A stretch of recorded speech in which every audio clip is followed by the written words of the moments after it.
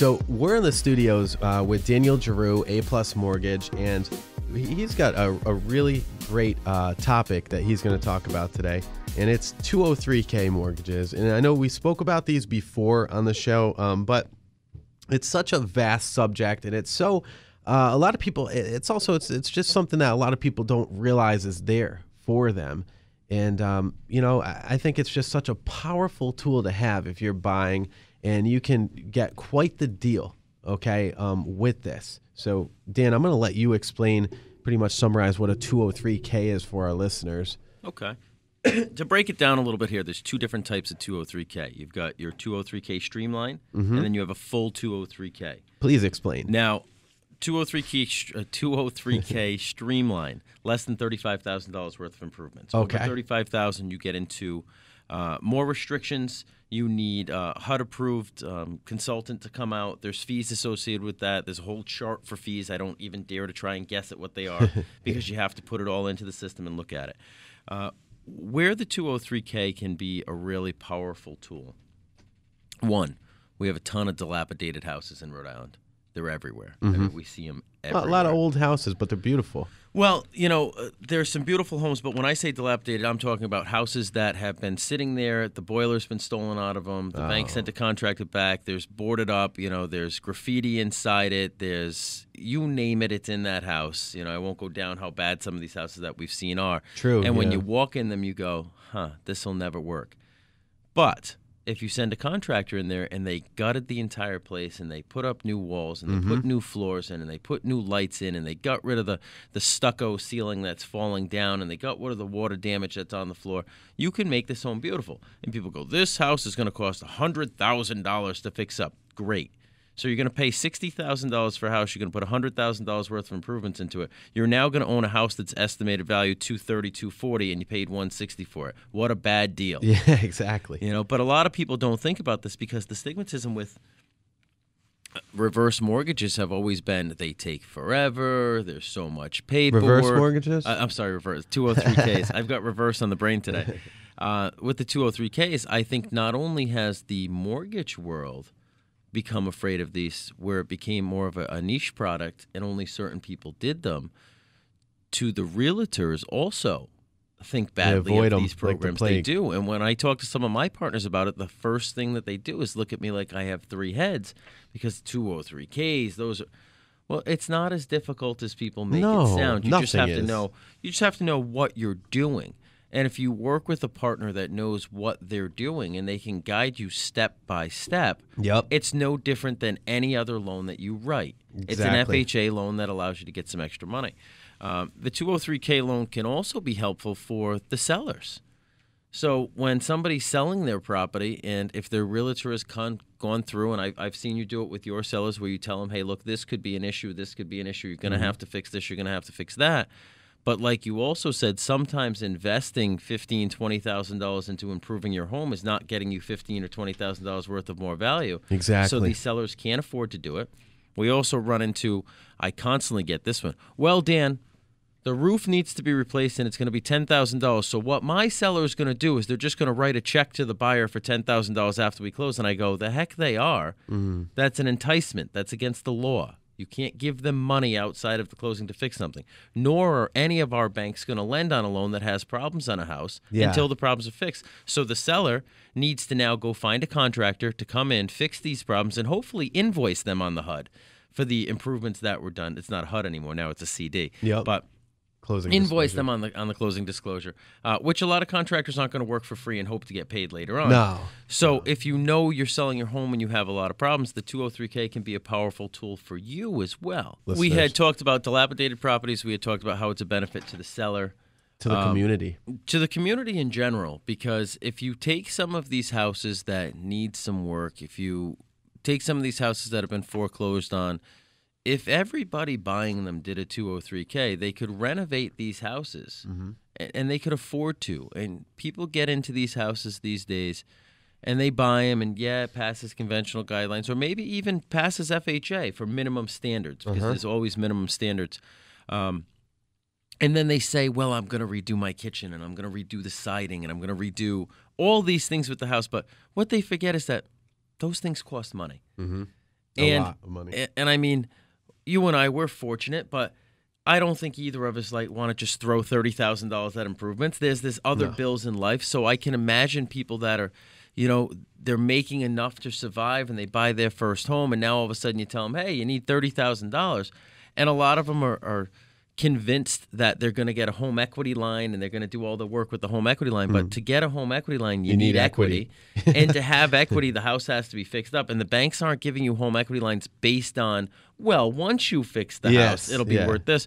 Whereas the 203k it really does. Um, they also have a 203k it's I, I don't believe they actually call it a 203k i would have to check on that but it's the exact same parameters Mm-hmm. of a 203k for a refinance so there are people that who have already owned their home they can get in and they can refinance and the bank will look at it and say your house is worth x today.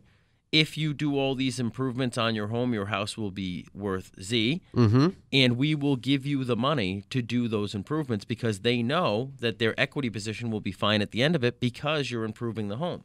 And it works on the same concept of a 203k So just to to kind of uh, put together everything, like to kind of simplify that all into like one statement, basically, um, for our listeners, basically, if you buy a house for one hundred and sixty-five thousand dollars and do a streamline two hundred three k, which is thirty-five thousand dollars, Yeah. as long as the home will appraise to 200,000 after the necessary repairs are made, you can you can get that 203k for that home. Correct. That that's the beginning stages, and I think that's where people have mis misconstrued what a 203k does and why everybody's so afraid of it.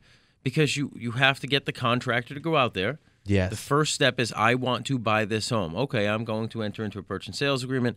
The next step is contractor immediately. Mm-hmm. Contractor out there to say there's going to be $25,000 worth of work, 35,000 and they have to itemize what that work is. Yep. Next step, apply for the loan. Appraiser goes out there, and the appraiser will look at the contractor's notes mm-hmm. and will say, new roof, new boiler, new this. And the appraiser will write their report based on if these things were done. Mm-hmm. If this house had a brand new roof, if this house had a brand new kitchen, if this house had brand new landscaping, what do we estimate this house would be worth based on other comparables around it? Sometimes you can put $100,000 worth of work into a home and it's still not worth $100,000. Yeah. Depends where the neighborhood is, where you're buying. So a, a, a smart consumer, uh, a talented real estate agent is going to be looking for properties that are in affluent neighborhoods that have fallen victim to foreclosure. Or, short sale. or short sale or whatever the case may be because sometimes you can have 300,000 300,000 300,000 man this house would be worth 300,000 with Yeah. just a few improvements. or an estate sale, or somebody estate that's sales are huge. or somebody that's just lived in the home for a long time and it just needs a lot of updating. Yeah. There's a lot of houses Yeah. like that, and they're wonderful houses. Mhm. And they just need somebody to go in and, and redo a lot of things. And and can that be overwhelming and can that be time consuming? Sure. Only if but, you let it. but you know whose problem it is? Not yours. No, the contractor. the contractors. That's what he gets paid for. It's not overwhelming to him. That's Yeah. what he does every day. You know, open heart surgery would be very That's confusing to me. Would Yeah. be very overwhelming. That's but there's some doctors that can do it with their eyes closed. I'm sure. Yeah. You know, Well, that's what these not, contractors. yeah, hopefully not. It- They have machines that do it now anyway. They just plug it in. You know, it's like a, it's like a flight play. It's like a flight plan on a drone. You know, they just tell it what it's supposed to do and they go and do it themselves. It's crazy. But um, yeah, 203k can really benefit um, pretty much everybody. Uh, it's it's how you use it. three and a half percent down. three and a half percent down on the total amount. So that gets a little confusing too sometimes when I'm trying to explain the pre uh, Yeah. pre-qualification letter to the realtors. They say, well, this is a two hundred thousand dollar purchase. He's supposed to be putting down. Uh, three and a half percent. I say, yeah, but he's got hundred thousand dollars worth of improvement. So now the three and a half percent is on the total amount, mm-hmm. the entire makes amount sense. that's going to be borrowed. Whereas the realtor's commission and the the way that sheet's going to show the purchase price is still two hundred thousand. So it gets a little confusing because they say, well, wait a second, how is he getting a loan for two hundred and eighty thousand dollars if the purchase price is two hundred because of the improvements, and then you put the three and a half percent down. Uh, so there's there's a lot of moving parts to it. But again, I like to simplify everything into step one, step two, step three. Yep. Step one, identify the home. Step two, talk to your realtor about it. Step three, get into a purchase and sales agreement. Step four, get a contractor. Yep. Step five, have your loan applied for. Step six, order appraisal. Make sure everything works out. Step seven, follow the advice of your mortgage lender the entire way through and close on your loan. Step eight, move into your new home. Nice. I like Simple step enough. eight. You know, and, and one point I want to make um, real quick here is what is really cool about a 203k is by having a contractor come into the home, y- you may not even need a home inspection because a lot of home inspectors are contractors. So they they can check the whole house out for you while they're there, and they'll give you a free estimate. Yeah. So boom, you just saved yourself four or five hundred bucks. Mm-hmm. Not so bad, but I would I would always suggest to go with a reputable home inspector. I use Mike Auger with Auger, uh, well, formerly Auger Enterprises, now Patriot Home Inspections. Uh, because he has expanded. But this guy, his company is phenomenal. They go in and they do an entire, really great uh, report that's all typed up. And uh, it, I'd like to say it's wonderful, but inspection reports are not wonderful. They're kind of scary sometimes. But it's it's got pictures of everything on there. It's fully detailed. A lot of it is for informational purposes, so you can always refer back to it. You know, I was as thinking well. as you're talking about, it, I'm thinking about how neat would it be because we've all seen inspection reports, and that's their job. They're supposed to point out everything that's wrong. so Good, they're bad, or indifferent. 15, 20 pages, 80. pictures of little, yeah, 80 page reports saying all these things. Imagine being able to take that entire report, hand it to your contractor, and say, "I want everything done. Yes, and I want can. everything done," and you can because the bank's going to finance it for you. Yeah, What an amazing world that would be.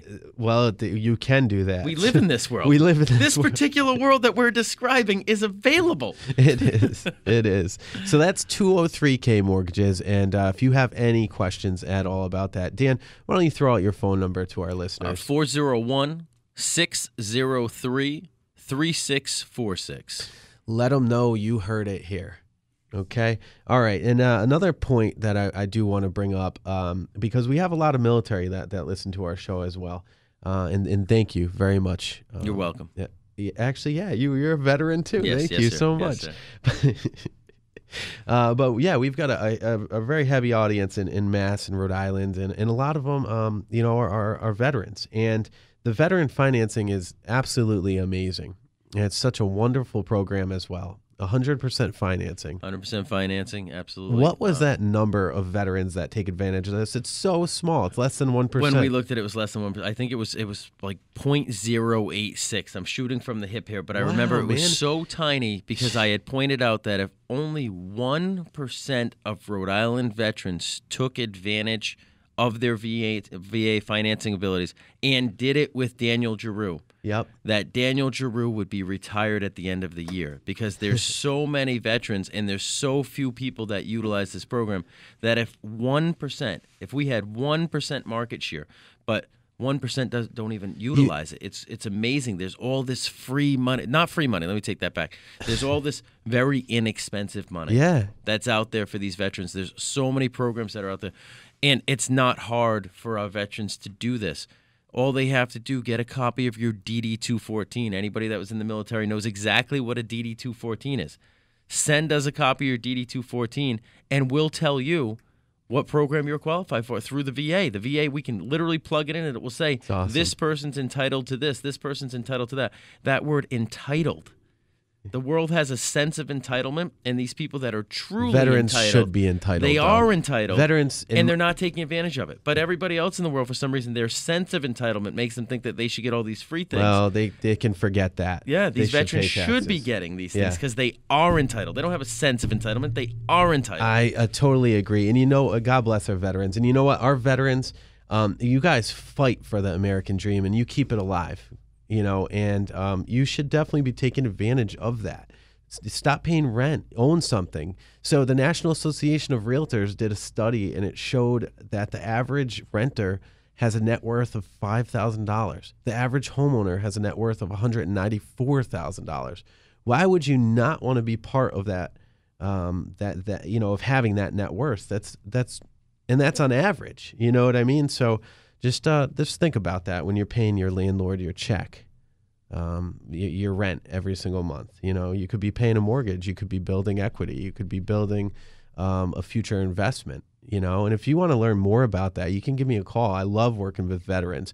And get this, I mean, I, I take veterans to the closing table and they leave with a check in hand. Okay, so you're, you're buying a house 100% financing. Okay, you get a discount from Mike Auger from the, the home inspector. He tosses 50 bucks off the top just for being a veteran because he's a veteran.